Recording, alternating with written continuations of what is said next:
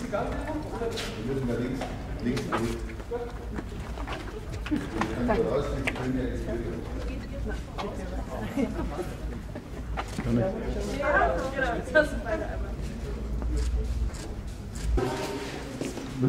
Sie, Sie übernehmen Brauprozess, oder? Sie erklären, was hier passiert und auch Dann machen wir das so. Von meiner Seite auch herzlich willkommen hier auf Schloss Kaltenberg. Jetzt habe ich das Vergnügen, Ihnen ein bisschen das Produkt König Ludwig Dunkel ein bisschen näher zu bringen. Es ist ja ein Spezialbier, ist ja dunkle Biere im deutschen Markt, sind ja mittlerweile bei circa 1,5 Prozent, also wirklich ganz wenig. Liegt aber sicherlich auch daran, das Löffel hat schon gesagt, dass es von vielen Brauereien ein bisschen stiefmütterlich behandelt wird. Das wollten wir natürlich nicht machen, das machen wir nach wie vor so, dass wir unser dunkles Bier aus echtem dunklen Malz machen. Alles beginnt in der Melzerei, Malz wird dann eingelagert in die Silos und damit wir die festen Bestandteile des Malzkornes in eine flüssige Form überführen, brauchen wir unser Sudhaus. Da sind wir jetzt, da ist recht warm. Ich bin ein Kellerkind, deswegen schwitze ich immer gleich so schnell. Sudhaus hat die Aufgabe jetzt da, Malz, geschrotetes Malz mit Wasser zu vermengen. Bei bestimmten Temperaturen wirken dort Enzyme, die lösen dann Eiweiße, die lösen die Stärke, die wandeln es um in Zucker, ein sehr aufwendiger Prozess. Bei dunklen Bieren natürlich noch intensiver wie bei hellen Bieren, da sich die Inhaltsstoffe vom dunklen Malzen etwas schwerer lösen. Deswegen haben wir jetzt hier auch vier Gefäße. Zweimal wird der Teil der Maische rausgenommen, wird extra gekocht. Wir erreichen hier schon eine gewisse Vorkaramellisierung. Das betont dann beim fertigen Bier ein bisschen schön das malzige Aroma, was wir ja haben wollen. Prozess beim meisten circa dreieinhalb Stunden. Danach gehen wir abläutern. Das ist nichts anderes wie ein grober Sieb. Da wird alles getrennt, was fest ist. Das Flüssige läuft hindurch in die Würzepfanne. In der Würzepfanne kochen wir das Ganze noch circa 80 Minuten. Und erst beim Kochen kommt dann der Hopfen hinzu. Und wenn das durch ist, dann haben wir unseren Sud fertig. Schmeckt wie gehopftes Karamalz. Süß, wenn wir jetzt keinen Hopfen geben hätten, dann ist es richtig süß sein, wäre es Karamalz. Der Hopfen, der macht die Bittere, der gibt ein bisschen Stabilität, der bindet auch die Eiweiße. Das Ganze ist heiß, muss dann hinten äh, im Kühlhaus abgekühlt werden, über den Plattenwärmetauscher relativ schnell. Es geht so in der Zeit von ca. 45 Minuten, laufen dort 15.000 Liter durch von 98 Grad runter auf 7 Grad. Das Ganze, die ganze Würze wird in den Keller geleitet, dort kommt dann die Hefe hinzu, die Gärung kann starten. Wir haben hier eine Produktionszeit pro Sud von ca. 8 Stunden. Durch das, dass wir einen fortwährenden Prozess haben, kontinuierlich, sind wir hier in der Lage, ca. 5 bis 6 Sudi am Tag zu machen. Das heißt, die Tagesproduktion hier in diesem Sudhaus liegt bei zwischen 70 und 85.000 Liter. So, und jetzt gehen wir in den kühleren Bereich, weil das wesentlich angenehmer. Kommen wir hier wieder raus? Äh, wir kommen dann am Endeffekt vorne raus, aber gehen an der Türe wieder vorbei. Also wenn Sie was haben, was Sie hier drin liegen lassen wollen, die Eingangstür ist, glaube ich, super ins. Ja, da kommt dann auch keiner rein. Ähm, alles? Ja, Ich bin dann weg, ja? alles klar. Alles klar.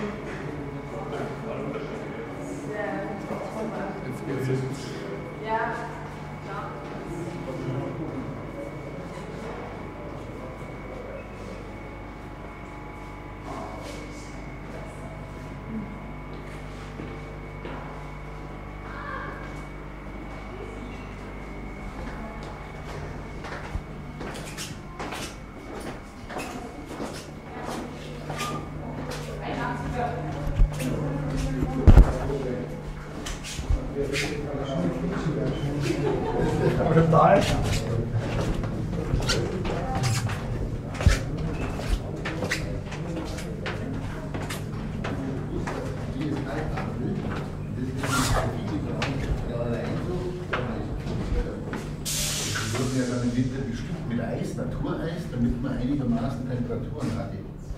sprich Temperaturen nachher im Winter klar durch die Züge von 0 Grad unter 0. Im Sommer hat das Eis aber tatsächlich bewirkt, dass die Temperaturen immer so knapp über dem Gefrierpunkt waren. 3, 4 Grad, viel wärmer wurde es nicht. Wir wissen, wenn wir heute da runtergehen in den Keller, 12 Meter unter der Erde, ohne Kühlung, liegt der bei ca. 12, 13 Grad. Und gar nicht kühl, da wird es auch nicht wärmer, aber wenn es draußen lange Wochen, sage ich mal, solche Temperaturen hat wie jetzt. Aber leider können wir da momentan nicht runter. Das ist ohne Notausgang deswegen kann ich sie leider nicht runterführen. Wir sind jetzt eine Etage drüber und stehen vor dem Hefekeller, wo wir unser kleines Viechlein dazugeben, das wo aus dem Karamals, aus diesem Zuckersirup, aus diesem Bier macht. So sieht es ja aus unter dem Mikroskop, lateinisch Saccharomyces cerevisiae, ein Sprosspilz, sprich ein Lebewesen.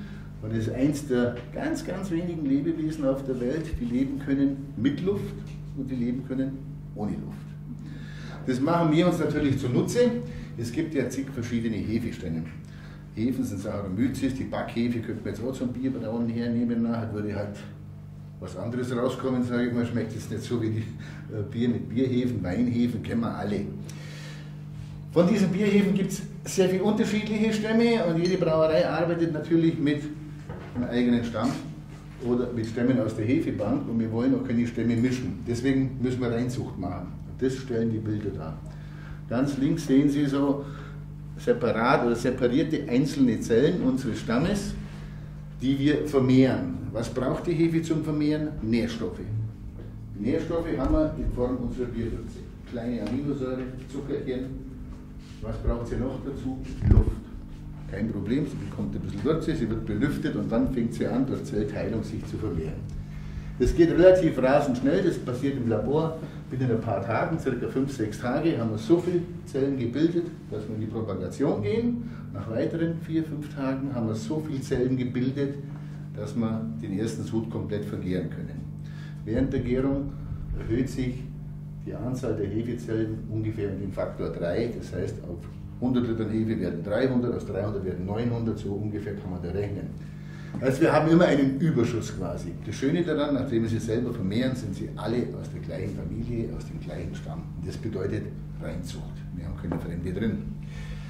So, das ist der eine Lebensabschnitt, die Vermehrung mit Nährstoffen und Luft.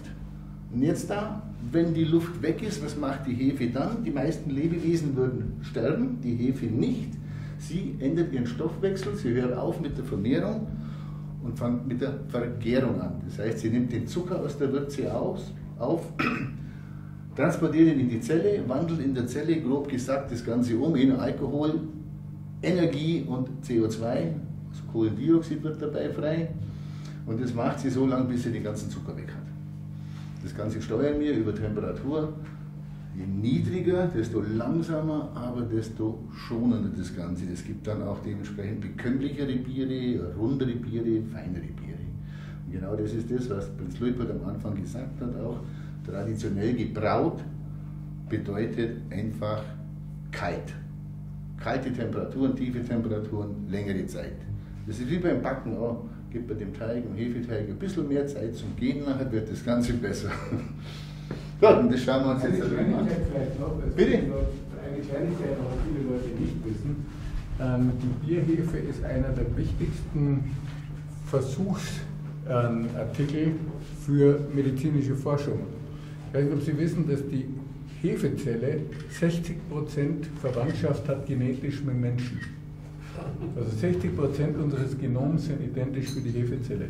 Das erklärt einiges. Das ist ganz, das ist ganz interessant. Also wir haben da, also man fast alle Versuche in der Medizin und in der Forschung ähm, verwendet man die Bierhefe in, am Anfang, weil man da eben eine sehr, sehr schnelle Reproduktion hat. Und deswegen, wenn man, eine, wenn man etwas forscht, eben sehr schnell Ergebnisse hat.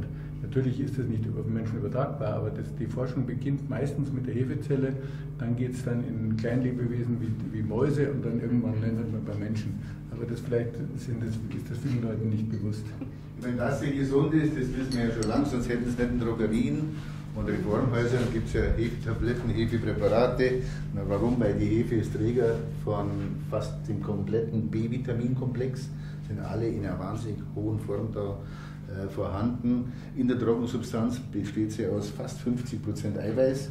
Deswegen schmeißen wir mir die Hefe dann auch nicht weg. Die geht jetzt nicht einfach in den Kanal, ins Abwasser. Hefe ist ein sehr wertvolles Futtermittel. Das holt der Landwirt ab nachher. In der Regel wird es bei der Schweinemast eingesetzt. Mittlerweile geht man sogar so weit nachher, dass man es eventuell sogar bei Biogasanlagen testet, aber da schlägt sie nicht so durch. Klar, sie vergärt sie macht CO2 nachher draus, aber da laufen so viele Sachen. Ähnlich wie beim Hopfen, muss man auch sagen. Ja, Hildegard von Bingen hat Hopfen schon eingesetzt, vor mehr als 1000 Jahren. Warum? Weil, der Hopfen eine sehr gesunde Pflanze ist. Dem werden teilweise äh, krebsvorbeugende Wirkungen nachgesagt. Klar, es ist die Menge, was es ausmacht. Ich meine, diese Sachen, was er drin hat, die kannst du gar nicht so viel essen, weil der ist bitter einfach. Das bringst du halt nicht so runter. Gut, jetzt gehen wir rüber.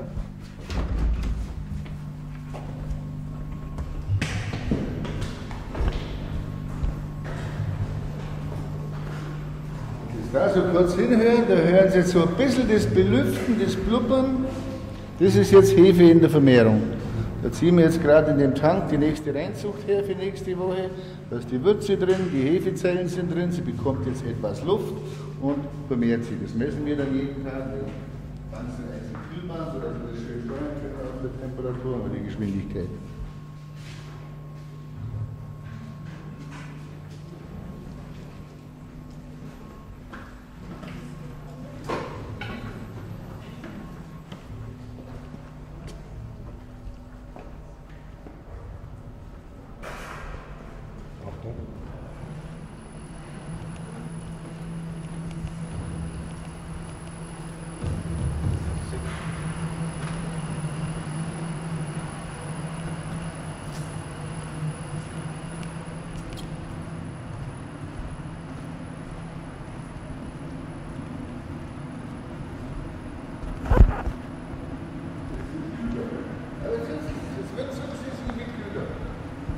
Endlich ist es kühl. Ja, endlich ist es kühl. Das habe ich vorher gemeint, wo ich gesagt habe, ich bin ein Kellerkind. Ja. Wenn Sie meistens wieder bei solchen Temperaturen unterwegs sind, dann ist es nicht so schön bei oben bei 30. Jetzt steht ja das Sudhaus, es hat ja teilweise 40 Grad.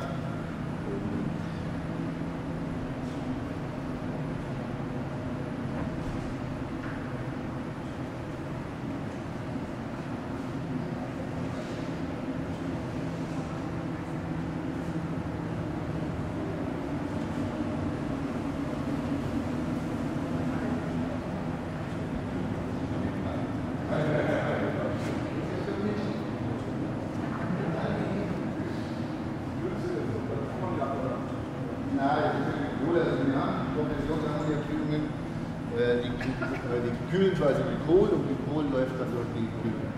Wenn die aufgesetzten Taschen, was wir sehen, das sind die Kühltaschen, mit denen wir das runterfahren.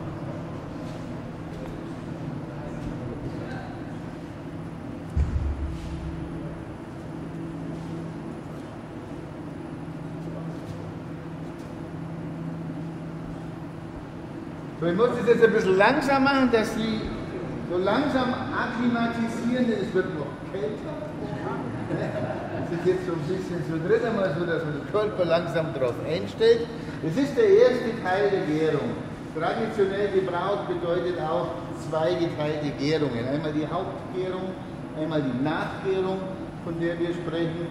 Was passiert in dem Tank? Die abgekühlte Würze oben vom Sudhaus wird mit der Hefe beimpft und das Ganze geht hier in den Gärtank. Das haben wir gehört, nachdem der Sauerstoff aufgezehrt wurde, sprich die Vermehrungsphase wurde abgeschlossen, beginnt die Hefe mit der Vergärung. Sie wandelt Zucker um in Alkohol, in Kohlendioxid und dabei wird Energie frei, Energie in Form von Wärme. Das heißt, die Temperatur steigt langsam an. Je höher die Temperatur, desto schneller die Gärung. Da ist die Bierhefe jetzt nicht anders wie eine Backhefe. Der Hefeteig muss auch am warmen Ort gehen. Wollen wir aber nicht, wir wollen sie nicht so schnell arbeiten lassen, weil es entsteht ja nicht nur Alkohol. Wir kennen in der Brauwissenschaft ca. 1000 verschiedene Gärungsnebenprodukte. Viele sind gut, einige sind natürlich schlecht. Bei zu hohen Temperaturen wird die Anzahl derjenigen, die etwas schlechter sind, sprich für die Bekömmlichkeit, für den Geschmack, für solche Sachen zuständig sind, einfach zu hoch Deswegen halten wir hier eine Temperatur von ca. 10 bis 11 Grad. Höher nicht. Das bedingt, dass es im Gärprozess ca. 6 bis 7 Tage hier dauert. Dann hat die Hefe ungefähr zwei Drittel des Malzzuckers verloren. Das verbleibende Drittel, das wollen wir auch für die Lagerung haben, ne, weil wir wollen ja stabile, vollmundige, ausgereifte Biere und dazu lagern wir das Bier dann aus dem Gärtank einen Keller weiter, da wo es ein bisschen kühler ist, noch die Lagerung.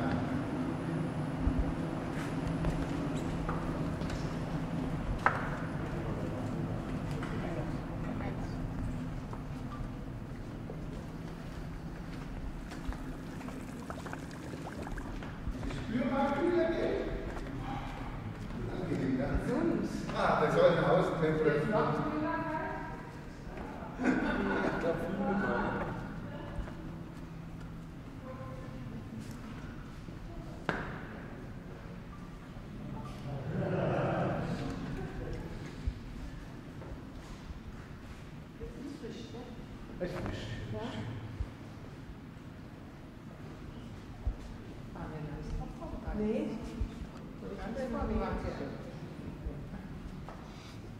Ruhig noch ein bisschen auf.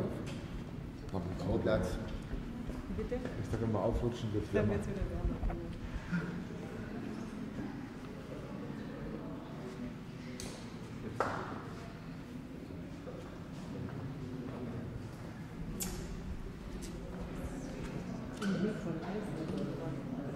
Ist das Eis oder ist Eis. Ja. So, das ist jetzt unser einer unserer Lagerteller, Reifetanks.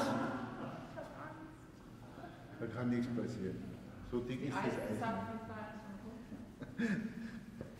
Äh, Aufgabe hier ist das Bier in Ruhe auszureifen. In den Kellern, wenn Sie es vielleicht kennen, früher diese alten Holzfässer, die Lagerfässer, wo wir mit Natureis gekühlt haben, hatten die gleiche Aufgabe. Ne? Heute hat sich das Material halt geändert. Man ist hier jetzt auf Edelstahl, mittlerweile in der ganzen Lebensmittelproduktion. Warum? Wir haben ja Bier, es ist ein verderbliches Produkt. Wir haben halt Bier im Markt draußen, die sind fünf Monate, sechs Monate, zwölf Monate haltbar. Wenn man sowas machen will, ohne Kurzzeiterhitzungen oder, oder Pasteurisation, haben wir nur eine Möglichkeit, sauberst zu arbeiten. Geht mit Holzfässern nicht. War doch früher gar nicht notwendig, weil Holzfässer, die wurden abgefüllt oder das Bier kam raus, ging zum Kunden und war nach zwei Wochen spätestens trunken. Die Vertriebswege haben sich heute etwas geändert. Ne, Wir schreiben hinten drauf, bitte kühl und dunkel lagern. Warum machen wir das? Weil wir wissen, Temperatur, Licht sind Einflüsse für das Bier, was den Alterungsgeschmack beschleunigen. Man muss es gar nicht infiziert sein, aber das Bier verändert sich nach der Abfüllung und zumeist zum Negativen. Und damit es möglichst lange stabil bleibt im Ursprungsgeschmack, brauchen wir hier die tiefen Temperaturen, brauchen keimfreie oder Materialien, die wir absolut hygienisch so behandeln können mit Säuren, Laugen, Desinfektionsmittel. Manche Bereiche fahren wir mit Heißdampf 120 Grad, absolut Sterilität erzeugen. Das ist der Grund, warum dann Biere die Haltbarkeit erreichen. Weil der Pasteurisation ist immer Hitzeeinfluss, ein thermischer Einfluss. Frischmilch, pasteurisierte Milch, brauche ich aber nicht viel sagen, schmeckt auch ganz anders. Ne? Also das ist der Grund. Was passiert hier drin? Die Hefe geht halt noch ein Stückchen langsamer, das Ganze läuft noch schonender. Wir binden hier die Kohlensäure auf ganz natürlichem Wege ab. Wir brauchen oder wollen in untergärigen Bieren ca. 5 Gramm Kohlensäure. Das sehen Sie teilweise bei den Tanks, die wo so ein bisschen blubbern. Das ist bloß ganz leicht. Und das ist nicht keine dicke Eisschicht, keine Angst. Ne? Und so können wir sie auf ganz natürlichem Wege abbinden. Bedeutet, die Kohlensäure bekommt eine sehr intensive Bindung mit dem Bier, was wieder für den Verbraucher dann beim Konsum von Vorteil ist. Denn die Biere bleiben im Glas viel länger frisch. Je intensiver die Kohlensäure drin ist, desto schwerer geht sie auch raus. Kennen wir ja alle, wenn wir ein Bier manchmal im Biergarten trinken und nicht einmal so lang steht und dann schon nach einer Viertelstunde Lack ist nachher, sind es oft schnell gebraute Biere. Denn schnell gebraute Biere haben eine Produktionszeit von ca. 12, 13 Tagen. Die können die Kohlensäure gar nicht abbinden, die müssen die auffangen und danach ins fertige Bier reinblasen. Dann ist der Bindungsgrad nicht so hoch. Sind das so ein bisschen Kleinigkeiten. Es ist heutzutage möglich, geschmacklich ähnliche Biere zu brauen wie traditionell. Nur der Unterschied, die einen sind in 10 bis 12 Tagen fertig und die anderen brauchen mindestens vier Wochen. Und das ist das, was sich dann im Preis natürlich auch niederschlägt. Der nächste Schritt wäre die Filtration, da wird es jetzt wieder wärmer.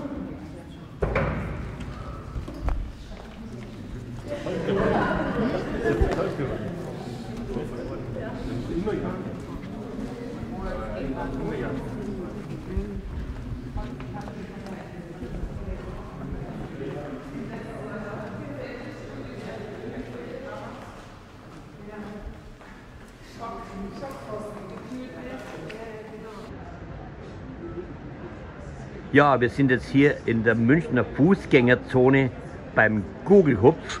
Und hier gibt es auch, was wir mit Erstaunen festgestellt haben, auch ein König Ludwig Dunkel. Und hier treffen wir die Kollegin, die wir gestern schon beim Pressetermin in Kaltenberg kennengelernt haben. Und sie war auch bei der Bierverkostung dabei. Können Sie mir was darüber erzählen?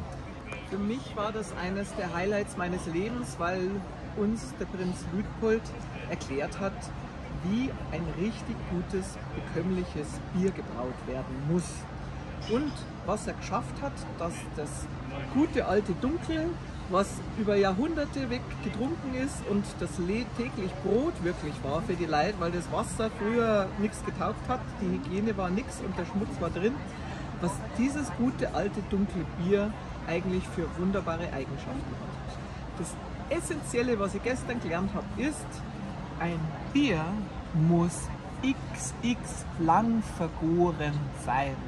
Nur dann entfalten sich die guten Eigenschaften der Hefe mit dem Hopfen und mit dem Malz. Und nur eine Brauerei, die ich kenne, legt den gesteigerten Wert, ihre Kessel, ihre Sudkessel so extra kühl zu halten und das so lange aufrecht zu erhalten, dass so ein bäriges Bier rauskommt. Ich bin ein Trockentrinker, beim Shampoos ein Brüttrinker, aber beim Bier mag ich es auch nicht so süß. Ich hätte nie gedacht, dass mir ein König Ludwig dunkel schmeckt, weil ich das Vorurteil hatte, das ist wie ein Karamalz, aber mit nicht nur mit Hand. Das ist ein süffiges, leichtes, trockenes, in der Weinsprache zu bleiben, Bier und eben XX lang vergoren. Und das reserviere ich noch als Marke, das XX lang vergoren. Prosit auf den Luitpold. Ja, wir sind jetzt schnell mal noch hier nach Pasing gefahren, nämlich zum Prinzregentgarten und ist der älteste Biergarten vom Prinz Luitpold. Und ich habe meine Kollegin jetzt noch mal mit dabei, die wird uns vielleicht noch ein bisschen was erzählen. Ich bin in München-Pasing an der Würm geboren, damals in dem Krankenhaus 1970 und ich habe nicht gewusst, dass es hier am Prinzregentengarten gibt. Ich bin das erste Mal jetzt in dem Biergarten und ich freue mich narrisch und Prost auf dein gutes Bier, Prinz Luitpold. Wir danken dir, dass du die Verlangsamung des Bierbrauens wieder hoffähig gemacht hast, sodass ein Bayer ein gescheites, verträgliches Bier trinken kann. Dankeschön.